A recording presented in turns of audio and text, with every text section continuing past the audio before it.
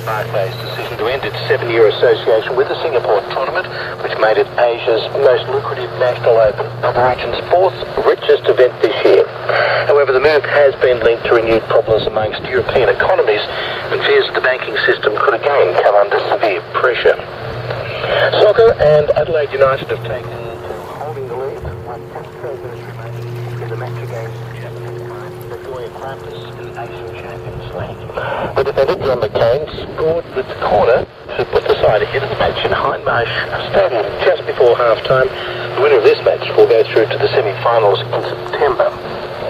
In tennis, Australia's Ashleigh Barty has been knocked out of the French Open. Uh, Barty went down.